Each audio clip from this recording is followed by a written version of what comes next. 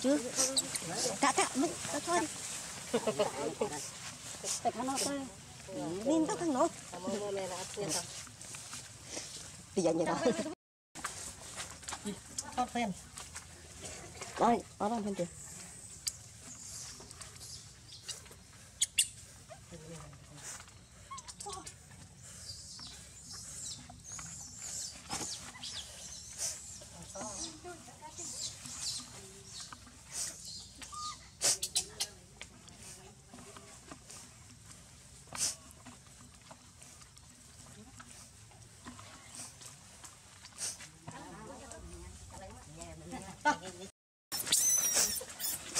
Ừ, chứ anh chừng nữa hả?